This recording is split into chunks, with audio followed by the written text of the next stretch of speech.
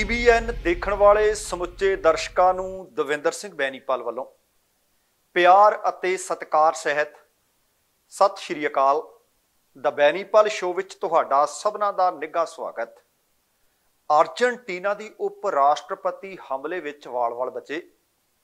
ਪਾਇਲਟਾਂ ਦੀ ਹੜਤਾਲ ਕਾਰਨ 800 ਫਲਾਈਟਾਂ ਰੱਦ ਦਿੱਲੀ ਹਵਾਈ ਅੱਡੇ ਤੇ ਹੰਗਾਮਾ। ਸਿੱਧੂ ਮੂਸੇਵਾਲੇ ਦੇ ਪਿਤਾ ਨੂੰ ਮਿਲੀਆਂ ਧਮਕੀਆਂ ਅਤੇ ਬਲਕੌਰ ਸਿੱਧੂ ਦਾ ਲਾਰੈਂਸ ਗੈਂਗ ਨੂੰ ਠੋਕਮਾ ਜਵਾਬ। ਸਾਬਕਾ ਵਿਧਾਇਕ ਸਰੂਪ ਚੰਦ ਸਿੰਗਲਾ ਨੂੰ ਵੀ ਮਿਲੀਆਂ ਧਮਕੀਆਂ। ਤਰਨਤਾਰਨ ਬੇਅਦਬੀ ਮਾਮਲੇ ਵਿੱਚ ਸਰਕਾਰ ਦਾ ਵੱਡਾ ਕਦਮ। ਪੰਜਾਬ ਸਰਕਾਰ ਦਾ ਡੀਜੀਪੀ ਨੂੰ ਲੈ ਕੇ ਅਹਿਮ ਫੈਸਲਾ ਅਤੇ ਮੁੱਖ ਮੰਤਰੀ ਯੋਗੀ ਦੇ ਸਿਰ ਦਾ 2 ਕਰੋੜ ਇਨਾਮ ਰੱਖਣ ਵਾਲਾ ਵਿਅਕਤੀ ਗ੍ਰਿਫਤਾਰ। ਦੋਸਤੋ, ਇਹ ਕੁਝ ਜਾਣਕਾਰੀਆਂ ਆਪਣੇ ਪ੍ਰੋਗਰਾਮ ਦੌਰਾਨ ਸ਼ਾਮਲ ਰਹਿਣਗੀਆਂ ਇਹਦੇ ਤੋਂ ਪਹਿਲਾਂ ਕਿ ਇਹਨਾਂ ਦੇ ਉੱਤੇ ਵਿਸਥਾਰ ਦੇ ਨਾਲ ਗੱਲਬਾਤ ਕੀਤੀ ਜਾਵੇ, ਤੁਹਾਨੂੰ ਸਭਨਾਂ ਨੂੰ ਬੇਨਤੀ ਹੈ ਕਿ ਪਹਿਲਾ ਪ੍ਰੋਗਰਾਮ ਦੇਖ ਲੈਣਾ, ਸੁਣ ਲੈਣਾ, ਜੇਕਰ ਚੰਗਾ ਲੱਗਿਆ ਫਿਰ ਲਾਈਕ ਅਤੇ ਸ਼ੇਅਰ ਜ਼ਰੂਰ ਕਰ ਦੇਣਾ। ਦੂਸਰੀ ਬੇਨਤੀ ਇਹ ਕਿ ਜੇਕਰ ਹਾਲੇ ਤੱਕ ਤੁਸੀਂ ਆਪਣੇ ਇਸ ਚੈਨਲ ਨੂੰ ਸਬਸਕ੍ਰਾਈਬ ਨਹੀਂ ਕੀਤਾ, ਤਾਂ ਕਿਰਪਾ ਕਰਕੇ ਸਬਸਕ੍ਰਾਈਬ ਕਰਕੇ ਨੋਟੀਫਿਕੇਸ਼ਨ ਵਾਲੀ ਘੰਟੀ ਜ਼ਰੂਰ ਔਨ ਕਰ ਲੈਣੀ। ਤੁਹਾਡੇ ਦਿਲੋਂ ਧੰਨਵਾਦੀ ਹੋਵਾਂਗੇ। ਤੇ ਆਓ, ਇੱਕ ਬਹੁਤ ਵੱਡੀ ਤੇ ਅਹਿਮ ਦੁਰਘਟਨਾ ਵਾਪਰਦੀ ਵਾਪਰਦੀ ਬਚੀ ਹੈ। ਇਹ ਤੁਸੀਂ ਬੜੀ ਵਾਰੀ ਸੁਣਿਆ ਹੋਣਾ ਹੈ ਕਿ ਜਾ ਕੋ ਰਾਖੇ ਸਾਈਆਂ ਮਾਰ ਸਕੇ ਨਾ ਕੋਈ। ਅਸਲ ਦੇ ਵਿੱਚ ਇਹ ਸੱਚ ਵੀ ਹੋਇਆ ਹੈ।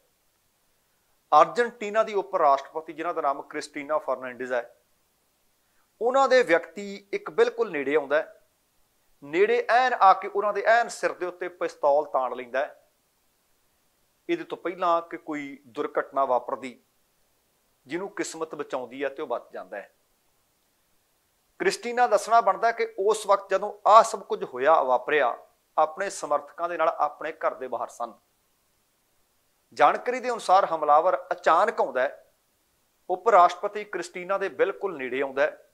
ਸਿਰ ਦੇ ਉੱਤੇ ਪਿਸਤੌਲ ਤਾਣ ਲੈਂਦਾ ਹੈ। ਅਤੇ ਉਹ ਪਿਸਤੌਲ ਅਚਨਚੇਤ ਚੱਲਦਾ ਨਹੀਂ।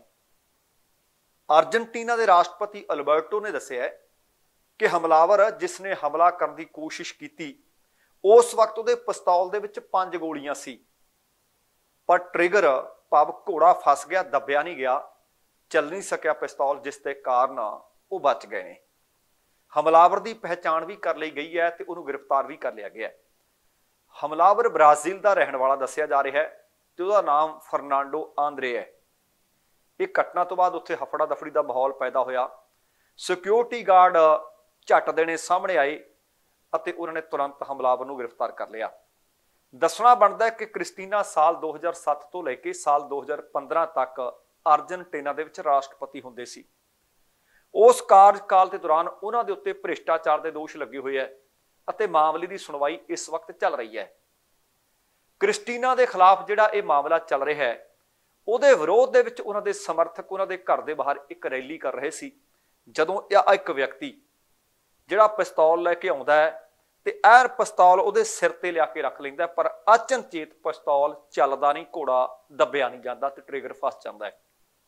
ਫਿਰ ਉਹੀ ਗੱਲ ਜਿੱਥੋਂ ਮੈਂ ਸ਼ੁਰੂ ਕੀਤੀ ਸੀ ਕਿ ਜਾ ਕੋ ਰੱਖੇ ਸਾਈਆਂ ਮਾਰ ਸਕੇ ਨਾ ਕੋਈ, ਪਰ ਜਦੋਂ ਉਹ ਬੰਦੇ ਦਾ ਮਾੜਾ ਵਕਤ ਹੋਵੇ ਉਸ ਵਕਤ ਊਂਠ ਦੇ ਬੈਠੇ ਤੇ ਕੁੱਤਾ ਦੰਦੀ ਵੱਢ ਜਾਂਦਾ ਹੈ ਤੇ ਉਸ ਵਕਤ ਕਈ ਵਾਰੀ ਖਾਲੀ ਵੀ ਵਾਰ ਕਰ ਜਾਂਦੀ ਹੈ। ਤੇ ਅਗਲੀ ਜਿਹੜੀ ਖਬਰ ਹੈ, ਸੱਚਮੁੱਚ ਬਹੁਤ ਸਾਰੇ ਲੋਕ ਨੇ ਜਿਹੜੇ ਇੱਕ ਮੁਲਕ ਚੋਂ ਦੂਸਰੇ ਮੁਲਕ ਜਾਂਦੇ ਨੇ ਜਾਂ ਆਪਣੇ ਵਿਦਨ ਕੰਟਰੀ ਵੀ, ਮੁਲਕ ਦੇ ਵਿੱਚ ਵਿੱਚ ਵੀ ਉਹ ਹਵਾਈ ਯਾਤਰਾ ਕਰਦੇ ਆ ਕੰਮਕਾਰ ਇਸ ਤਰ੍ਹਾਂ ਦੇ ਹੋ ਗਏ ਆ ਪਰ ਲਫਤਾਂਜ਼ਾ ਦੇ ਵਿੱਚ ਜਿਨ੍ਹਾਂ ਨੇ ਟਿਕਟਾਂ ਲਈਆਂ ਹੋਈਆਂ ਸੀ, ਸੱਚਮੁੱਚ ਉਹਨਾਂ ਨੂੰ ਬਹੁਤ ਦਿੱਕਤਾਂ, ਮੁਸੀਬਤਾਂ ਦਾ ਸਾਹਮਣਾ ਕਰਨਾ ਪਿਆ। ਅਸਲ ਦੇ ਵਿੱਚ ਜਿਹੜੇ ਪਾਇਲਟ ਹੈ, ਉਹ ਕਹਿੰਦੇ ਸਾਡੀਆਂ ਤਨਖਾਹਾਂ ਵਧਾਓ। ਤਨਖਾਹਾਂ ਵਧਾਉਣ ਦੀਆਂ ਮੰਗਾਂ ਨੂੰ ਲੈ ਕੇ ਉਹ ਆਪਣਾ ਦਬਾਅ ਬਣਾ ਰਹੇ ਨੇ ਤੇ ਲਫਤਾਂਸਾ 에ਅਰਲਾਈਨ ਦੇ ਪਾਇਲਟਾਂ ਨੇ ਸ਼ੁੱਕਰਵਾਰ ਨੂੰ ਇੱਕ ਦਿਨ ਦੀ ਹੜਤਾਲ ਕੀਤੀ, ਜਿਸ ਦੇ ਕਾਰਨ 에ਅਰਲਾਈਨ ਨੂੰ ਸੈਂਕੜੇ ਉਡਾਨਾਂ ਰੱਦ ਕਰਨ ਦੇ ਵਾਸਤੇ ਮਜਬੂਰ ਹੋਣਾ ਪਿਆ। ਜਰਮਨੀ ਦੀ ਇਹ ਸਭ ਤੋਂ ਵੱਡੀ 에ਅਰਲਾਈਨ ਹੈ। 에ਅਰਲਾਈਨ ਨੇ ਦੱਸਿਆ ਕਿ ਪਾਇਲਟਾਂ ਦੀ ਹੜਤਾਲ ਦੇ ਕਾਰਨ ਲਗਭਗ 800 ਉਡਾਨਾਂ ਰੱਦ ਕਰਨੀਆਂ ਪਈਆਂ। ਜਿਸ ਦੇ ਵਿੱਚ 1 ਲੱਖ ਤੋਂ ਵੱਧ ਯਾਤਰੀ ਪ੍ਰਭਾਵਿਤ ਦੱਸੇ ਜਾ ਰਹੇ ਨੇ। ਤੇ ਇਸੇ ਹੀ ਹੜਤਾਲ ਦੀ ਵਜ੍ਹਾ ਦੇ ਕਾਰਨ ਦਿੱਲੀ ਹਵਾਈ ਅੱਡੇ ਤੇ ਭੜਥੂ ਪਿਆ। 700 ਤੋਂ ਵੱਧ ਯਾਤਰੂ ਉੱਥੇ ਫਸ ਗਏ।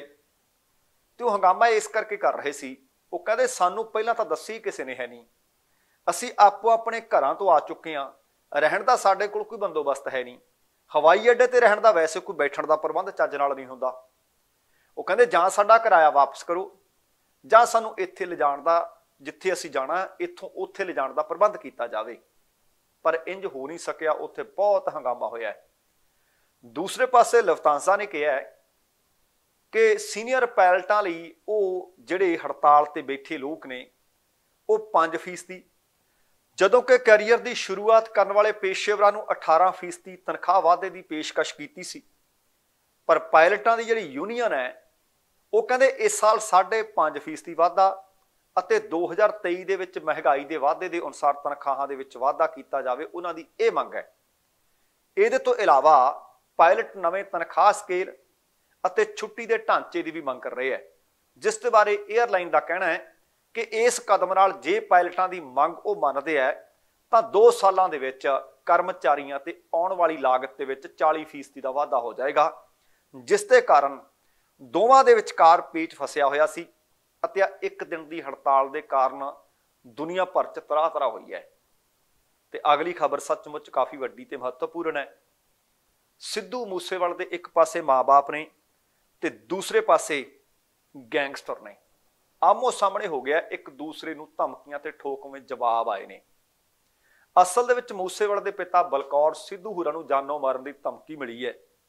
ਅਤੇ ਇਹ ਧਮਕੀ ਈਮੇਲ ਦੇ ਰਾਹੀਂ ਦਿੱਤੀ ਗਈ ਹੈ। ਅਤੇ ਧਮਕੀ ਦੇਣ ਵਾਲੇ ਨੇ ਖੁਦ ਨੂੰ ਗੈਂਗਸਟਰ ਲਾਰੈਂਸ ਬਿਸ਼ਨੋਈ ਅਤੇ ਜੱਗੂ ਭਗਵਾਨਪੁਰੀਏ ਦੇ ਗੈਂਗ ਦਾ ਮੈਂਬਰ ਦੱਸਿਆ ਹੈ। ਇਹ ਵੀ ਜਾਣਕਾਰੀ ਮਿਲੀ ਹੈ ਕਿ ਇੱਕ ਨਹੀਂ, ਦੋ ਈਮੇਲਸ ਭੇਜੀਆਂ ਗਈਆਂ ਨੇ। ਉਹਦੇ ਵਿੱਚ ਧਮਕੀ ਇਹ ਦਿੱਤੀ ਗਈ ਹੈ ਕਿ ਤੇਰਾ ਕਤਲ ਕਰ ਦਿਆਂਗੇ। ਔਰ ਇਹ ਵੀ ਆਖਿਆ ਕਿ ਕਿ ਜਿਹੋ ਜਿਹਾ ਹਾਲ ਸਿੱਧੂ ਮੂਸੇਵਾਲ ਦਾ ਕੀਤਾ ਸੀ ਨਾ, ਉਹਦੇ ਤੋਂ ਵੀ ਭਿਆਨਕ ਹਾਲ ਕੀਤਾ ਜਾਊਗਾ। ਜੇਕਰ ਉਹ ਲਾਰੈਂਸ ਬਿਸ਼ਨੋਈ ਅਤੇ ਜੱਗੂ ਭਗਵਾਨਪੁਰੇ ਦੀ ਸੁਰੱਖਿਆ ਨੂੰ ਲੈ ਕੇ ਬੋਲਣਾ ਬੰਦ ਨਹੀਂ ਕਰਨਗੇ। ਹਿੰਦੀ ਦੇ ਵਿੱਚ ਲਿਖੀ ਹੋਈ ਇਹ ਧਮਕੀ ਹੈ। ਇਸ ਧਮਕੀ ਭਰੀ ਈਮੇਲ ਦੇ ਵਿੱਚ ਲਿਖਿਆ ਗਿਆ ਹੈ ਕਿ ਜਗਰੂਪ ਰੂਪਾ ਤੇ ਮਨੂ ਕੁਸਾ, ਜਿਨ੍ਹਾਂ ਦਾ ਭਕਨਾ ਦੇ ਵਿੱਚ ਪੁਲਿਸ ਮੁਕਾਬਲਾ ਹੋਇਆ ਸੀ, ਉਹਦੇ 'ਚ ਇਸ ਗੱਲ ਦਾ ਜ਼ਿਕਰ ਹੈ ਕਿ ਝੂਠਾ ਪੁਲਿਸ ਮੁਕਾਬਲਾ ਉਹ ਵੀ ਤੁਹਾਡੇ ਦਬਾਅ ਦੇ ਕਾਰਨ ਪੁਲਿਸ ਨੂੰ ਕਰਨਾ ਪਿਆ। ਗੈਂਗ ਦੇ ਮੈਂਬਰਾਂ ਦੇ ਵੱਲੋਂ ਜਾਨੋਂ ਮਾਰ ਦੀ ਧਮਕੀ ਦਿੰਦਿਆਂ ਸਿੱਧੂ ਮੂਸੇਵਾਲ ਦੇ ਪਿਤਾ ਨੂੰ ਚੁੱਪ ਰਹਿਣ ਦੀ ਨਸੀਹਤ ਵੀ ਨਾਲ ਦਿੱਤੀ ਗਈ ਹੈ। ਈਮੇਲ ਦੇ ਵਿੱਚ ਇਹ ਵੀ ਲਿਖਿਆ ਹੋਇਆ ਹੈ ਕਿ ਜੇ ਬਹੁਤਾ ਬੋਲਿਆ, ਤਾਂ ਹਾਲ ਤੇਰਾ ਸਿੱਧੂ ਮੂਸੇਵਾਲੇ ਨਾਲੋਂ ਭੈੜਾ ਕਰਾਂਗੇ।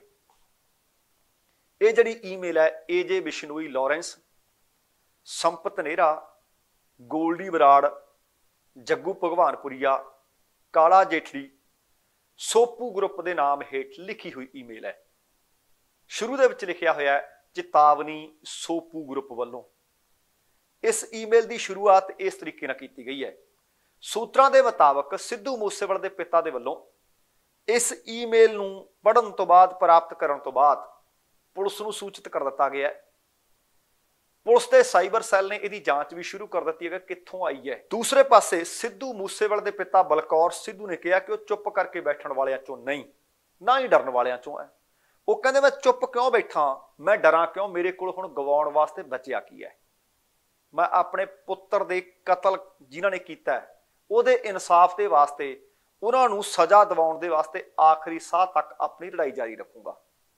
ਦੱਸਣਾ ਬਣਦਾ ਕਿ ਬਲਕੌਰ ਸਿੱਧੂ ਦੇ ਵੱਲੋਂ ਅਕਸਰ ਇਹ ਕਟਾਕਸ਼ ਕੀਤਾ ਜਾਂਦਾ ਹੈ ਕਿ ਉਹਦੇ ਪੁੱਤਰ ਦੇ ਕਾਤਲਾਂ ਨੂੰ ਜਦੋਂ ਅਦਾਲਤ ਦੇ ਵਿੱਚ ਪੇਸ਼ੀ ਲਈ ਲਿਆਂਦਾ ਜਾਂਦਾ ਹੈ, ਤਾਂ ਉਹਨਾਂ ਦੇ ਮਹਿੰਗੀਆਂ ਮਹਿੰਗੀਆਂ ਟੀ-ਸ਼ਰਟਾਂ ਹੁੰਦੀਆਂ ਨੇ ਮਹਿੰਗੇ ਮਹਿੰਗੇ ਬੂਟ ਹੁੰਦੇ ਨੇ।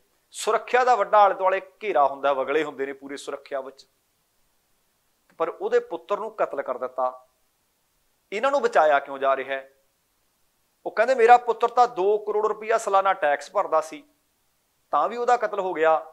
ਪਰ ਆਹ ਗੈਂਗਸਟਰ ਨੇ, ਜਿਹੜੇ ਲੋਕਾਂ ਦੀਆਂ ਜਾਨਾਂ ਲੈਂਦੇ ਨੇ, ਇਹਨਾਂ ਨੂੰ ਸਿਕਿਉਰਿਟੀ ਦਿੱਤੀ ਨਹੀਂ ਜਾਣੀ ਚਾਹੀਦੀ। ਇਸੇ ਗੱਲ ਨੂੰ ਆਧਾਰ ਬਣਾ ਕੇ ਦੋ ਵੱਖ-ਵੱਖ ਈਮੇਲਸ ਰਾਹੀਂ ਬਲਕੌਰ ਸਿੱਧੂ ਨੂੰ ਧਮਕੀਆਂ ਦਿੱਤੀਆਂ ਗਈਆਂ ਨੇ।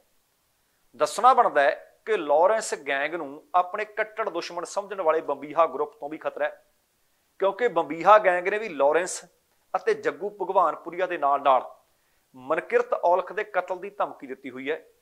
ਉਹਨਾਂ ਕਿਹਾ ਸੀ ਕਿ ਜੇ ਜ਼ਿਆਦਾ ਸਿਕਿਉਰਿਟੀ ਨਾ ਹੁੰਦੀ ਨਾ, ਤਾਂ ਹੁਣ ਤੱਕ ਉਹ ਲਾਰੈਂਸ ਅਤੇ ਜੱਗੂ ਭਗਵਾਨਪੁਰੀਆ ਨੂੰ ਮਾਰ ਚੁੱਕੇ ਹੁੰਦੇ।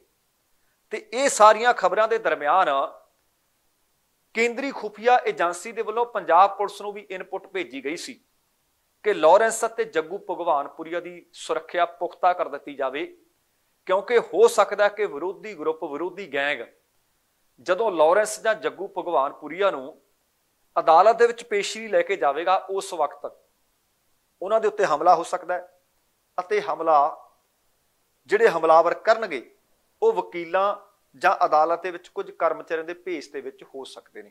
ਇਸ ਕਰਕੇ ਉਹਨਾਂ ਦੀ ਸੁਰੱਖਿਆ ਦੇ ਵਿੱਚ ਵਾਧਾ ਕੀਤਾ ਗਿਆ ਹੈ।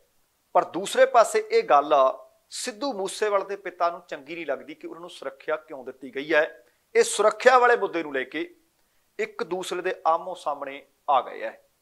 ਤੇ ਧਮਕੀ ਅੱਗੇ ਮਿਲੀ ਹੈ, ਉਹ ਮਿਲੀ ਹੈ ਸਾਬਕਾ ਵਿਧਾਇਕ ਸਰੂਪ ਚੰਦ ਸਿੰਗਲਾ। ਉਹ ਦੋਸ਼ ਲਾ ਰਹੇ ਨੇ ਕਿ ਮੈਨੂੰ ਧਮਕੀ ਮਿਲੀ ਹੈ।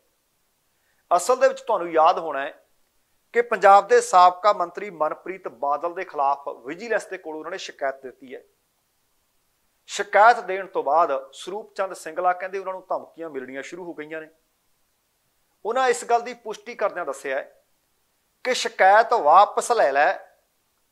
ਇਸ ਕਰਕੇ ਉਹਨੂੰ ਧਮਕੀਆਂ ਮਿਲ ਰਹੀਆਂ ਨੇ ਕਿ ਜੇ ਵਾਪਸ ਨਹੀਂ ਲਵੇਗਾ ਤਾਂ ਇਹਦਾ ਅੰਜਾਮ ਭੁਗਤਣਾ ਪਊ, ਮੈਨੂੰ ਡਰਾਵੇ ਦਿੱਤੇ ਜਾ ਰਹੇ ਆ ਨਤੀਜੇ ਕਹਿੰਦੇ ਇਹਦੇ ਗੰਭੀਰ ਹੋਣਗੇ। ਪਰ ਉਹ ਕਹਿੰਦੇ ਉਹਨਾਂ ਵੱਲੋਂ ਦਿੱਤੀ ਕੋਈ ਸ਼ਿਕਾਇਤ ਹੈ ਨਾ ਜਿਹੜੀ, ਉਹ ਤੱਥਾਂ ਤੇ ਆਧਾਰਿਤ ਹੈ। ਉਹ ਸ਼ਿਕਾਇਤ ਦਿੱਤੀ ਹੋਈ ਦੇ ਉੱਤੇ ਆਪਣੇ ਕਾਇਮ ਰਹਿਣਗੇ, ਪਾ ਵਾਪਸ ਨਹੀਂ ਲੈਣਗੇ। ਉਹਨਾਂ ਨੇ ਕਿਹਾ ਕਿ ਕਥਿਤ ਦੋਸ਼ੀ ਸਬੂਤਾਂ ਨੂੰ ਮਟਾਉਣ ਦੇ ਯਤਨ ਕਰ ਰਹੇ ਨੇ। ਇਸ ਲਈ ਪੰਜਾਬ ਸਰਕਾਰ ਨੂੰ ਚਾਹੀਦਾ ਹੈ ਕਿ ਉਹ ਤੁਰੰਤ ਮਨਪ੍ਰੀਤ ਬਾਦਲ ਅਤੇ ਉਸਦੇ ਸਾਥੀਆਂ ਦੇ ਖਿਲਾਫ ਮੁਕੱਦਮਾ ਦਰਜ ਕਰੇ। ਸਿੰਗਲਾ ਨੇ ਇਹ ਵੀ ਕਿਹਾ ਕਿ ਜਿਸ ਤਰ੍ਹਾਂ ਪੰਜਾਬ ਸਰਕਾਰ ਨੇ ਸਾਬਕਾ ਕੈਬਨਿਟ ਮੰਤਰੀ ਭਾਰਤ ਭੂਸ਼ਣ ਆਸ਼ੂ ਨੂੰ ਟੈਂਡਰ ਘੁਟਾਲੇ ਵਿੱਚ ਗ੍ਰਿਫਤਾਰ ਕੀਤਾ ਹੈ, ਜਾਂਚ ਚੱਲ ਰਹੀ ਹੈ। ਉਸੇ ਤਰ੍ਹਾਂ ਦਾ ਹੀ ਇਹ ਘੁਟਾਲਾ ਬਠਿੰਡਾ ਵਿੱਚ ਵੀ ਹੋਇਆ ਉਹਨਾਂ ਦਾਵਾ ਕੀਤਾ ਕਿ ਜੇਕਰ ਵਿਜੀਲੈਂਸ ਵਿਭਾਗ ਬਠਿੰਡਾ ਦੇ ਵਿੱਚ ਹੋਏ ਟੈਂਡਰ ਘੁਟਾਲੇ ਦੀ ਡੂੰਘਾਈ ਨਾਲ ਜਾਂਚ ਪੜਤਾਲ ਕਰੇ, ਤਾਂ ਇਹਦੀਆਂ ਹੋਰ ਬਹੁਤ ਸਾਰੀਆਂ ਨਵੀਆਂ ਪਰਤਾਂ ਖੁੱਲਣਗੀਆਂ। ਨਾਲ ਨਾਲ ਉਹ ਕਹਿੰਦੇ ਨਵੇਂ ਹੈਰਾਨੀਜਨਕ ਖੁਲਾਸੇ ਵੀ ਹੋਣਗੇ। ਉਹਨਾਂ ਇਹ ਵੀ ਕਿਹਾ ਕਿ ਜੇਕਰ ਵਿਭਾਗ ਉਹਨਾਂ ਨੂੰ ਬੁਲਾਊਗਾ, ਉਹ ਪੂਰੇ ਤੱਥਾਂ ਸਮੇਤ ਜਾਣਗੇ, ਸਬੂਤ ਲੈ ਕੇ ਜਾਣਗੇ। ਉਹਨਾਂ ਇਹ ਵੀ ਕਿਹਾ ਕਿ ਟੈਂਡਰ ਘੁਟਾਲੇ ਦੇ ਨਾਲ ਖਜ਼ਾਨੇ ਦੀ ਕਰੋੜਾਂ ਰੁਪਏ ਦੀ ਇਹਨਾਂ ਨੇ ਲੁੱਟ ਕੀਤੀ ਹੈ।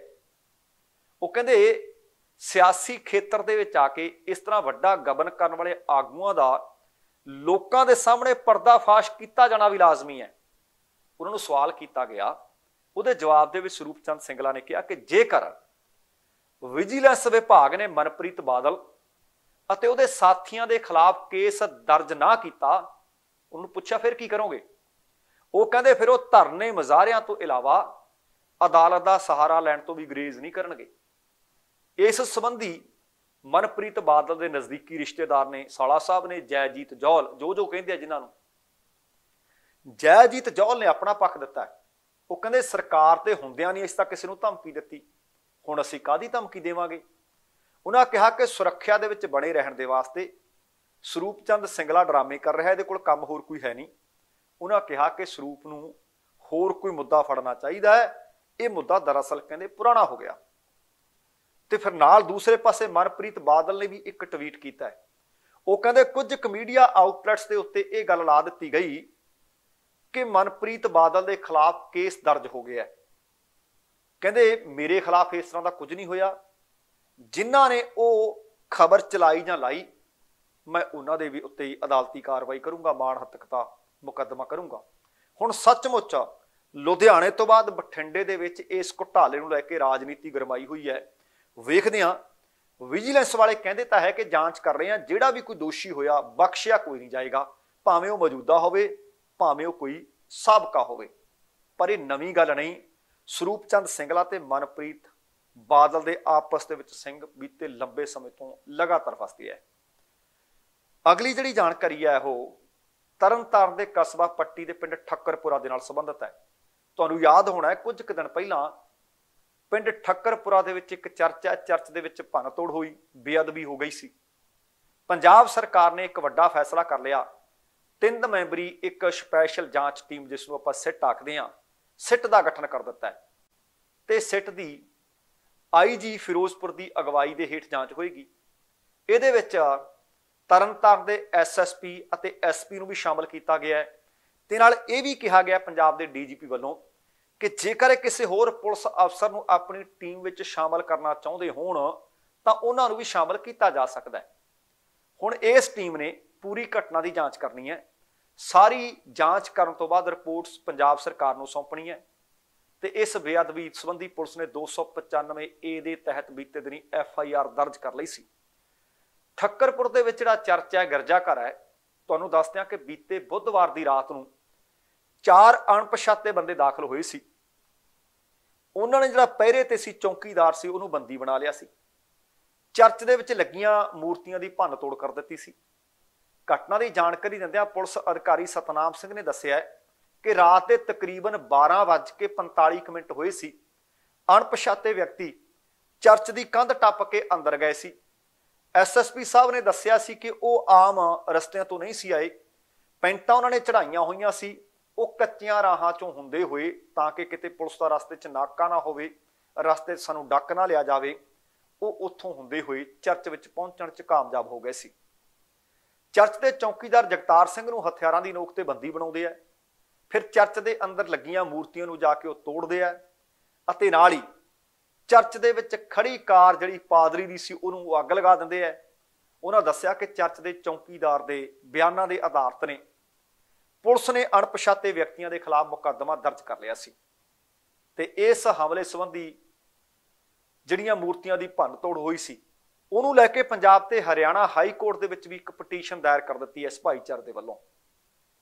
ਕਿ ਪੰਜਾਬ ਦੇ ਵਿੱਚ ਸਾਰੀਆਂ ਹੀ ਚਰਚਾਂ ਦਾ ਅਤੇ ਕ੍ਰਿਸਚੀਅਨ ਭਾਈਚਾਰੇ ਦਾ ਸੁਰੱਖਿਅਤ ਹੋਣਾ ਲਾਜ਼ਮੀ ਹੈ, ਸੁਰੱਖਿਆ ਯਕੀਨੀ ਬਣਾਈ ਜਾਵੇ, ਇਹ ਮੰਗ ਉਹਨਾਂ ਨੇ ਕੀਤੀ ਹੈ। ਨੈਸ਼ਨਲ ਕ੍ਰਿਸਚੀਅਨ ਲੀਗ ਦੇ ਪ੍ਰਧਾਨ ਜਗਦੀਸ਼ ਮਸੀ ਅਤੇ ਚੰਡੀਗੜ੍ਹ ਦੇ ਸੁਖਜਿੰਦਰ ਸਿੰਘ ਗਿੱਲ ਹੋਰਾਂ ਨੇ ਇਹ ਪਟੀਸ਼ਨ ਦਾਇਰ ਕੀਤੀ ਸੀ। ਜਿਸ ਤੇ ਸੁਣਵਾਈ ਹੋਣੀ ਹੈ, ਪਟੀਸ਼ਨ ਦੇ ਵਿੱਚ ਇਹ ਮੰਗ ਕੀਤੀ ਗਈ ਹੈ ਕਿ ਪੰਜਾਬ ਦੇ ਵਿੱਚ ਈਸਾਈ ਭਾਈਚਾਰੇ ਨੂੰ ਜਾਣਬੁੱਝ ਕੇ ਨਿਸ਼ਾਨਾ ਬਣਾਇਆ ਜਾ ਰਿਹਾ ਹੈ ਅਤੇ ਹੁਣ ਚਰਚ ਦੇ ਵਿੱਚ ਵਾਪਰੀ ਘਟਨਾ ਤੋਂ ਬਾਅਦ ਭਾਈਚਾਰਾ ਪੰਜਾਬ ਦੇ ਵਿੱਚ ਆਪਣੇ ਆਪ ਨੂੰ ਅਸੁਰੱਖਿਅਤ ਮਹਿਸੂਸ ਕਰ ਰਿਹਾ ਹੈ।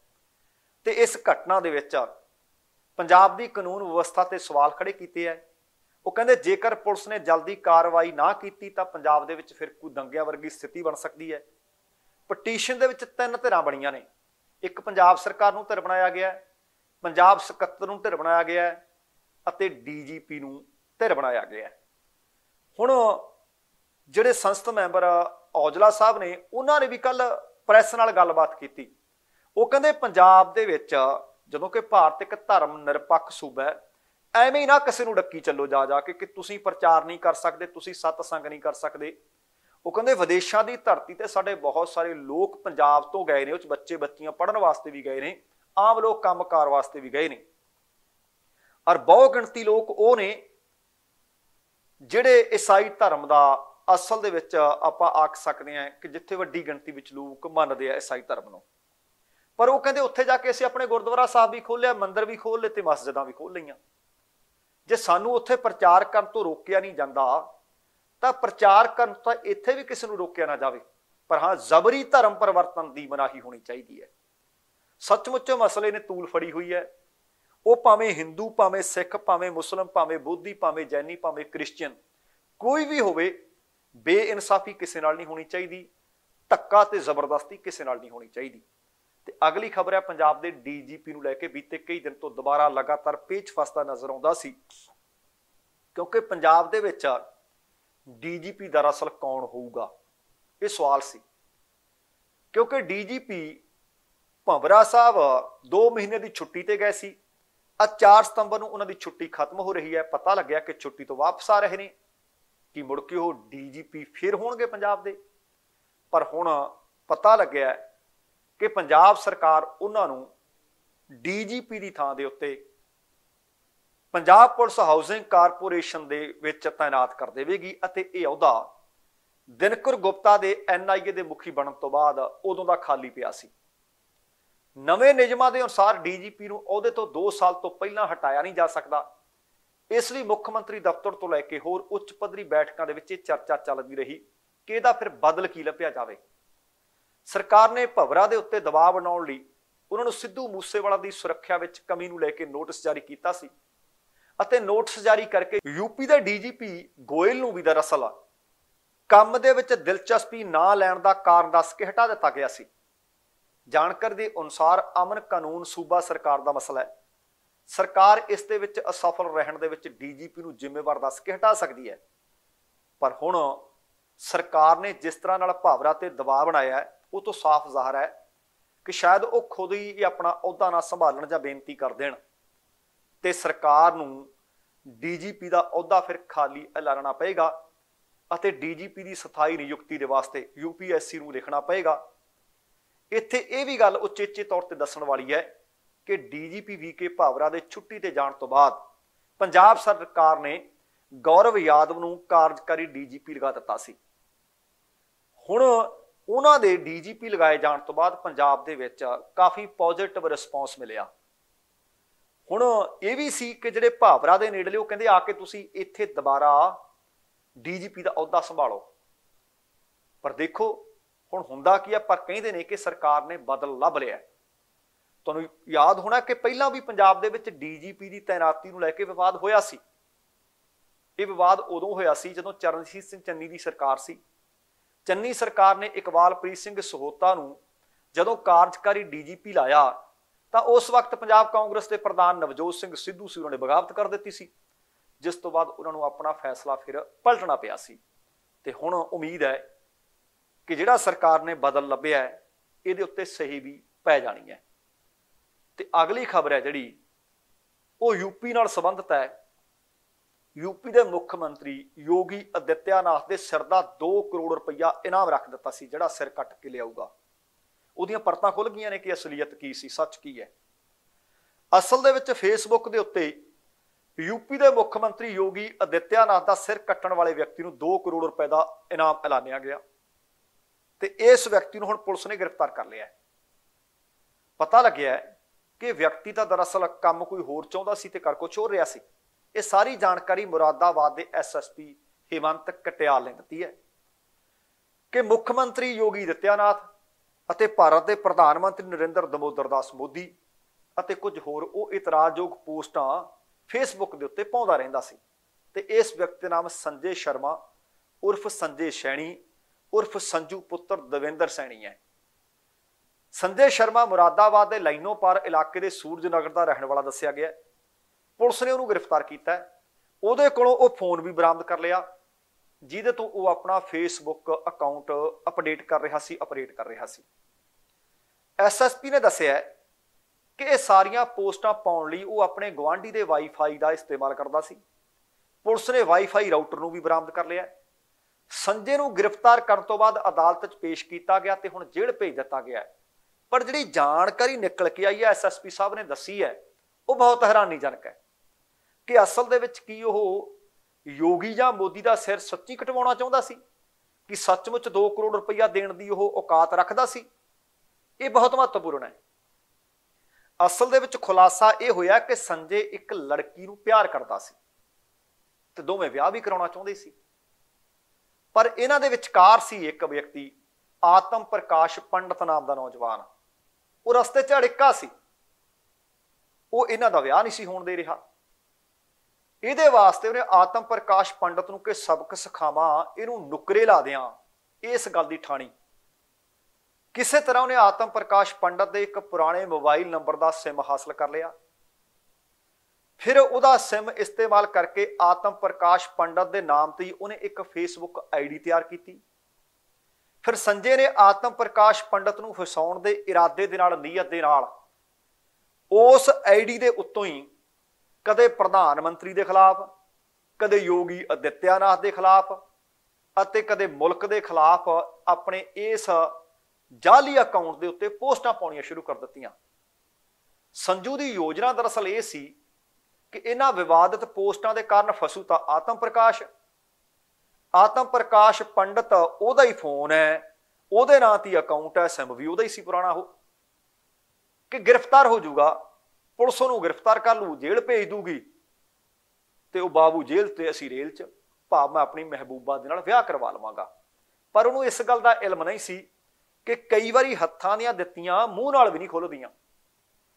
ਉਹਦਾ ਭਾਂਡਾ ਭੱਜ ਗਿਆ ਆਤਮ ਪ੍ਰਕਾਸ਼ ਪੰਡਤ ਹਾਲੇ ਵੀ ਬਾਹਰ ਹੀ ਹੈ। ਤੇ ਬਾਬੂ ਜੀ ਹੁਣ ਜੇਲ੍ਹ 'ਚ ਚਲੇ ਗਏ ਐ ਤੇ ਫਿਰ ਧਰੀਆਂ ਤਰਾਈਆਂ ਰਹਿ ਗਈਆਂ। ਚਾਹੁੰਦਾ ਸੀ ਕਿ ਆਪਣੀ ਮਹਿਬੂਬਾ ਨਾਲ ਵਿਆਹ ਕਰਾਵਾਂ। ਪਰ ਲੱਗਦਾ ਹੈ ਕਿ ਸ਼ਾਇਦ ਪਰਮਾਤਮਾ ਨੂੰ ਅਤੇ ਕਾਨੂੰਨ ਨੂੰ ਕੁਝ ਹੋਰ ਮਨਜ਼ੂਰ ਸੀ। ਇੱਥੋਂ ਪਤਾ ਲੱਗਦਾ ਹੈ ਕਿ ਠੱਗੀਆਂ, ਧੋਖੇ, ਫਰੇਬ ਇਹ ਬਹੁਤਾ ਤਿਰ ਚੱਲਦੇ ਨਹੀਂ। ਇੱਕ ਨੋ ਇੱਕ ਦਿਨੇ ਸਾਹਮਣੇ ਆਉਣੇ ਹੁੰਦੇ ਆ। ਸੋ ਦੋਸਤੋ, ਇਹ ਸੀ ਕੁੱਲ ਮਿਲਾ ਕੇ ਆਪਣਾ ਅੱਜ ਦਾ ਪ੍ਰੋਗਰਾਮ। ਉਮੀਦ ਕਰ ਰਹੇ ਹਾਂ ਤੁਹਾਨੂੰ ਚੰਗਾ ਲੱਗਿਆ ਹੋਵੇਗਾ। ਜੇਕਰ ਪ੍ਰੋਗਰਾਮ ਚੰਗਾ ਲੱਗਿਆ ਤਾਂ ਕਿਰਪਾ ਕਰਕੇ ਲਾਈਕ ਅਤੇ ਸ਼ੇਅਰ ਜ਼ਰੂਰ ਕਰ ਦੇਣਾ। ਜੇਕਰ ਹਾਲੇ ਤੱਕ ਤੁਸੀਂ ਆਪਣੇ ਇਸ ਚੈਨਲ ਨੂੰ ਸਬਸਕ੍ਰਾਈਬ ਨਹੀਂ ਕੀਤਾ ਤਾਂ ਕਿਰਪਾ ਕਰਕੇ ਸਬਸਕ੍ਰਾਈਬ ਕਰਕੇ ਨੋਟੀਫਿਕੇਸ਼ਨ ਵਾਲੀ ਘੰਟੀ ਜ਼ਰੂਰ ਔਨ ਕਰ ਲੈਣੀ। ਤੁਹਾਡੇ ਦਿਲੋਂ ਧੰਨਵਾਦੀ ਹੋਵਾਂਗੇ। ਹੁਣ ਸਮਾਂ ਸਮਾਪਤ ਹੈ। ਜਾਣ ਤੋਂ ਪਹਿਲਾਂ ਕਹਾਂਗਾ, ਜ਼ਿੰਦਗੀ। ਜਿੰਦਾਦਲੀ ਦਾ ਨਾਮ ਹੈ ਦਵਿੰਦਰ ਸਿੰਘ ਬੈਣੀਪਾਲ ਨੂੰ ਆਗਿਆ ਦਿਓ। ਸਤਿ ਸ਼੍ਰੀ ਅਕਾਲ ਤੇ ਰੱਬ ਰਾਖਾ